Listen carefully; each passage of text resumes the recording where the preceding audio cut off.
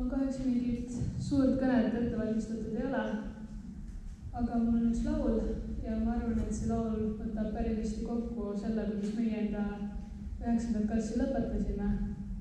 et oli üks päris paras torm ja lõpuks jõudsime siia tühja maja tagasi, aga kõik uksed meie ees siiski sulatuks ei jäänud, et saime kõik ka kokku saada ja kes kuhu edasi läheb ja kui mul juba sõna anti, siis soovin kindlasti tänada, ma arvan, kogu klassi eest meie armsaid klassijuhatajaid, nii Liisit, kes esimesest neljanda klassini oli meil vahepeal justkui teiseks emaks ja kellega saime käia igasugustes toredates kohtades ja luua toredaid mälestusi.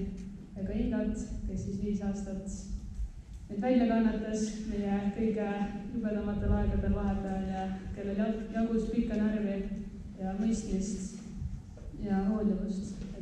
Et cetera. Ja ollaan siis Terminaattoritorni.